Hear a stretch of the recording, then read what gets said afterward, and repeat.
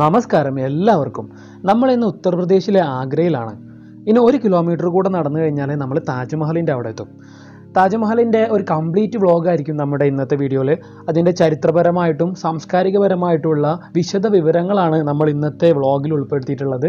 അപ്പോൾ നമ്മളെ ചാനൽ നിങ്ങൾ ആദ്യമായിട്ട് കാണണമെങ്കിൽ സബ്സ്ക്രൈബ് ചെയ്ത് സപ്പോർട്ട് ചെയ്യുക. വീഡിയോ മുഴുവനായിട്ട് കാണാൻ ശ്രദ്ധിക്കുമല്ലോ. നമ്മളങ്ങനെ താജ്മഹലിന്റെ പ്രധാന കവാടത്തിൽ കവാടത്തിലെത്തിയിരിക്കുകയാണ്. താജ്മഹലിലെ ടിക്കറ്റിംഗ് എല്ലാം ഇപ്പോൾ ഓൺലൈനാണ്. W W W dot Tajmahal dot G O V dot in എന്നുള്ള വെബ്സൈറ്റിൽ കയറിയിട്ട് നിങ്ങൾക്ക് ടിക്കറ്റുകൾ ബുക്ക് ചെയ്യാവുന്നതാണ്. സെക്യൂരിറ്റി ചെക്കിംഗ് എല്ലാം കഴിഞ്ഞതിന് ശേഷം താജ്മഹലിന്റെ എൻട്രൻസിന്റെ ഉള്ളിലേക്ക് കയറുമ്പോൾ നമ്മൾ കാണുന്നത് താജ്മഹലിന്റെ വിവിധ കാലഘട്ടങ്ങളിൽ എടുത്തിട്ടുള്ള വ്യത്യസ്തമായിട്ടുള്ള ഫോട്ടോകളാണ്.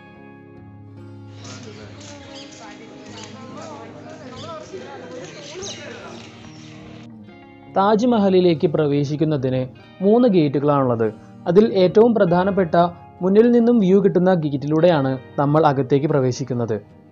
ലോകത്തിലെ ഏഴ് അത്ഭുതങ്ങളിൽ ഒന്നാണ് താജ്മഹൽ. മുഗൾ ചക്രവർത്തിയായ ഷാജഹാൻ തന്റെ പത്നി മുംതാസ് മഹലിന്റെ സ്മരണയ്ക്കായി പണി കഴിപ്പിച്ചതാണ് ഇത്. പേർഷ്യൻ ഒട്ടോമൻ ഇന്ത്യൻ ഇസ്ലാമിക് എന്നീ വാസ്തുവിദ്യകളുടെ മാതൃകകൾ കൂടിച്ചേർന്നുണ്ടായ മുഗൾ വാസ്തുവിദ്യയുടെ ഉത്തമ ഉദാഹരണമാണ് താജ്മഹൽ. പൂർണമായും വെള്ള മാർബിളിൽ നിർമ്മിച്ച ഈ സ്മാരകം പൂർത്തിയാക്കാൻ ഇരുപത്തിരണ്ട് വർഷം എടുത്തു എന്നാണ് കണക്ക്. ഇരുപത്തിരണ്ട് വർഷത്തെ നിർമ്മാണ ദൗത്യത്തിന്റെ സ്മരണക്കെന്നോണം താജ്മഹലിന്റെ പ്രധാന ഗേറ്റിൽ ഇരുപത്തിരണ്ട് മിനാരങ്ങൾ നിർമ്മിച്ചു വച്ചിട്ടുണ്ട്. ആയിരത്തി തൊള്ളായിരത്തി എൺപത്തി മൂന്നിൽ ലോകത്തിലെ പൈതൃക സ്ഥലങ്ങളുടെ യുനെസ്കോ പട്ടികയിൽ താജ്മഹലിനെ ഉൾപ്പെടുത്തുകയുണ്ടായി. താജ്മഹലിന്റെ പണി ഏകദേശം ആയിരത്തി അറുന്നൂറ്റി മുപ്പത്തിരണ്ടിൽ തുടങ്ങി ആയിരത്തി അറുന്നൂറ്റി അമ്പത്തി മൂന്നിൽ തീർന്നു എന്നാണ് കണക്കാക്കപ്പെടുന്നത്.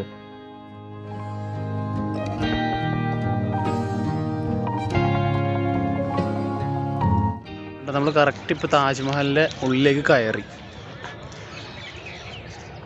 നമുക്ക് ഈ ഭൂമിയിൽ കിട്ടാവുന്നതെന്ന് വെച്ചിട്ട് ഏറ്റവും വലിയൊരു ദൃശ്യവിസ്മയമായിട്ടാണ് ഇത് തോന്നുന്നത്. ഇവിടെ നിൽക്കുമ്പോൾ ഇത് കാണുമ്പോൾ നമുക്ക് കിട്ടുന്ന ഫീൽ അപ്പാരമാണ് കിട്ടിയില്ലാണ്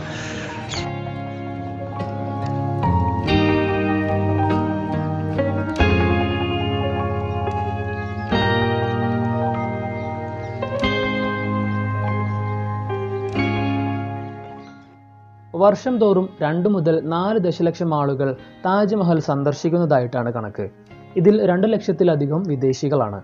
ഏറ്റവും കൂടുതൽ ആളുകൾ എത്തുന്നത് തണുപ്പുകാലമായ ഒക്ടോബർ മുതൽ ഫെബ്രുവരി വരെയുള്ള മാസങ്ങളിലാണ്. പുക വമിപ്പിക്കുന്ന മലിനീകരണ വാഹനങ്ങൾക്ക് താജ്മഹലിന്റെ അടുത്ത് പ്രവേശനമില്ല. സന്ദർശകർ ഇലക്ട്രിക് വാഹനങ്ങളിലോ പുക വമിപ്പിക്കാത്ത മറ്റു വാഹനങ്ങളിലോ താജ്മഹലിൽ എത്തിച്ചേരേണ്ടതാണ്.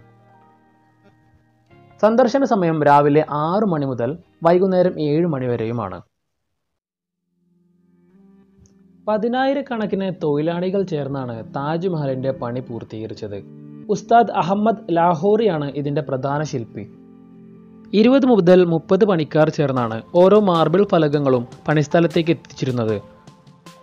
താജ്മഹൽ പണിയുന്നതിനായി ഏഷ്യയുടെ വിവിധ ഭാഗങ്ങളിൽ നിന്നും സാധന സാമഗ്രികൾ എത്തിച്ചിരുന്നു. ആയിരത്തിലധികം ആനകളെ സാധനങ്ങൾ പണിസ്ഥലത്തേക്ക് എത്തിക്കുന്നതിനായി ഉപയോഗിച്ചിരുന്നു. മാർബിൾ രാജസ്ഥാനിൽ നിന്നും ജസ്പർ കല്ലുകൾ പഞ്ചാബിൽ നിന്നും ജേഡ് ക്രിസ്റ്റൽ എന്നിവ ചൈനയിൽ നിന്നുമാണ് കൊണ്ടുവന്നത്. ഇതുകൂടാതെ തിബൈത്ത് അഫ്ഗാനിസ്ഥാൻ ശ്രീലങ്ക എന്നിവിടങ്ങളിൽ നിന്നും പലതരം കല്ലുകൾ കൊണ്ടുവന്നിരുന്നുവെന്ന് ചരിത്രകാരന്മാർ രേഖപ്പെടുത്തുന്നു. ഡൽഹിയിൽ സ്ഥിതി ചെയ്യുന്ന കുത്തബ് മിനാറിനേക്കാൾ താജ്മഹലിന് ഉയരം കൂടുതലാണ്.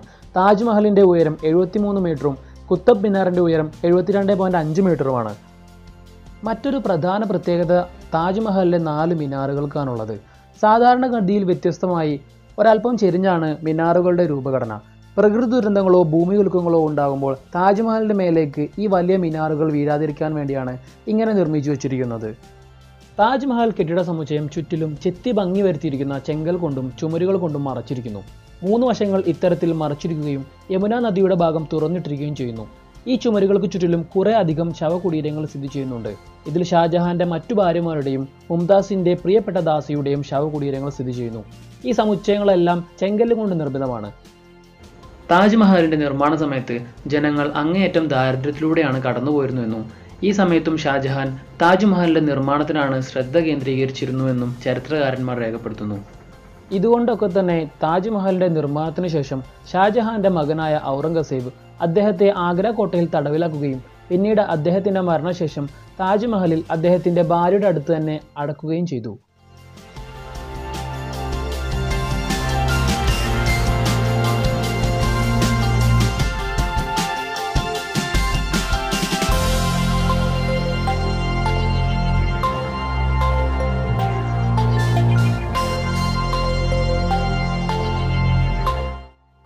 താജ്മഹലിന്റെ പുറമെയുള്ള അലങ്കാരങ്ങൾ മുഗൾ രാജവംശത്തിലെ ഏറ്റവും മികച്ച വാസ്തുവിദ്യകളിൽ ഒന്നായി കണക്കാക്കപ്പെടുന്നു. താജ്മഹലിൽ കാണപ്പെടുന്ന കയ്യെഴുത്തുകൾ പ്രധാനമായും ചെയ്തിരിക്കുന്നത് പേർഷ്യൻ കയ്യെഴുത്തുകാരനായ അമാനത് ഖാൻ ആണ്.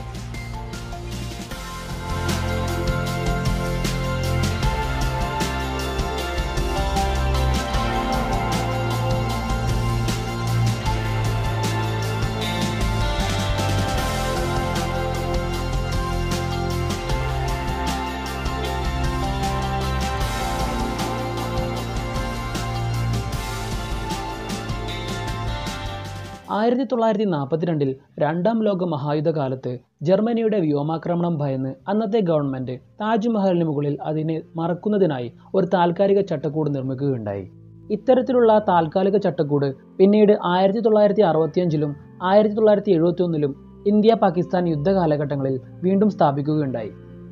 അടുത്ത കാലങ്ങളിൽ താജ്മഹൽ പരിസ്ഥിതി മലിനീകരണം മൂലം വളരെയധികം ഭീഷണി നേരിടുന്നുണ്ട്. മധുര എണ്ണ കമ്പനികളുടെയും യമുന നദിയിലെ മലിനീകരണം മൂലമുള്ള ആസിഡ് മഴ പ്രഭാവം കൊണ്ടും വെള്ള മാർബിളുകളുടെ നിറം വാങ്ങുന്നതായി കണ്ടെത്തിയിട്ടുണ്ട്. താജ്മഹലിന്റെ നിറം വാങ്ങുന്നതിൽ നിന്നും സംരക്ഷിക്കാൻ കേന്ദ്ര ടൂറിസം മന്ത്രാലയം മണ്ണ് ഉപയോഗിച്ചിട്ടുള്ള ഒരു പ്രത്യേക തരം സംരക്ഷണ മാർഗം അവലംബിക്കുന്നുണ്ട്. മുൾട്ടാണി മിട്ടി എന്ന പ്രത്യേക തരം മണ്ണ് ഉപയോഗിച്ചാണ് ഈ നവീകരണം നടത്തുന്നത്. ആയിരത്തി തൊള്ളായിരത്തി തൊണ്ണൂറ്റിനാല് രണ്ടായിരത്തി ഒന്ന് രണ്ടായിരത്തി എട്ട് വർഷങ്ങളിൽ ഇത് ചെയ്തു പോന്നിരുന്നു. താജ്മഹൽ കെട്ടിട സമുച്ചയം സാംസ്കാരികവും ഭൂമിശാസ്ത്രപരമായ വളരെയധികം പ്രാധാന്യമുള്ള ഒന്നായതുകൊണ്ട് തന്നെ ഇതിനെ ചുറ്റിപ്പറ്റി ഒരുപാട് വ്യക്തിപരവും വൈകാരികവുമായ പഴങ്കഥകൾ ഉരുത്തിരിഞ്ഞു വന്നിട്ടുണ്ട്.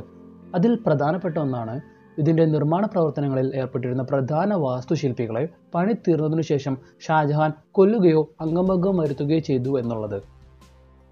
മറ്റൊരു പ്രധാനപ്പെട്ട കാര്യമുള്ളത് കറുത്ത താജ്മഹൽ അഥവാ ബ്ലോക്ക് താജ്മഹലിനെ കുറിച്ചാണ്. താജ്മഹൽ പണിതതിനു ശേഷം ഷാജഹാൻ ഒരു കറുത്ത താജ്മഹൽ യമുനയുടെ അക്കരെ ഇപ്പോഴത്തെ താജ്മഹലിന് എതിരായി പണിയാൻ ഉദ്ദേശിച്ചിരുന്നു എന്ന് നിലനിൽക്കുന്ന ഒരു കഥയാണ്. കറുത്ത താജ്മഹലിന്റെ പണി തുടങ്ങുന്നതിന് മുൻപ് തന്നെ ഔറംഗസേബ് ഷാജഹാനെ തടവിലാക്കുകയും അതിന്റെ പണി തുടങ്ങാൻ ഷാജഹാന് കഴിഞ്ഞില്ല എന്നും ജീൻ ബാപ്റ്റിസ്റ്റ് ടാവനിയർ എന്ന ചരിത്രകാരൻ രേഖപ്പെടുത്തുന്നു. നമ്മളങ്ങനെ താജ്മഹലിനോട് ടാറ്റ പറഞ്ഞ് തിരിച്ചു പോവാണ്. വളരെ വലിയൊരു എക്സ്പീരിയൻസ് ആയിരുന്നു താജ്മഹൽ കണ്ടത്. നമ്മുടെ ഇന്ത്യൻ ഹിസ്റ്ററിയുടെ ഒരു പ്രധാനപ്പെട്ട ഘടകങ്ങളിലൊന്നാണ് ഇന്ത്യയിലെ ഏറ്റവും കൂടുതൽ ഫോറിനേഴ്സ് വന്ന് വിസിറ്റ് ചെയ്യുന്ന ഒരു ടൂറിസ്റ്റ് സ്പോട്ടും കൂടിയാണ് താജ്മഹൽ. ടൂറിസ്റ്റേഴ്സ് കാര്യങ്ങളൊക്കെ വരുന്നുണ്ട് കോവിഡിന് ശേഷവും. നല്ലൊരു അനുഭവമാണ് ഇവിടെ വന്ന് വിസിറ്റ് ചെയ്യുന്നത്. അടിപൊളിയാണ്. നമ്മുടെ വീഡിയോ നിങ്ങൾക്ക് എല്ലാവർക്കും ഇഷ്ടപ്പെട്ടു വിചാരിക്കുന്നു. അടുത്തൊരു അടിപൊളി വീഡിയോ ആയിട്ട് വീണ്ടും കാണാം. അതുവരേക്കും bye from twelve B media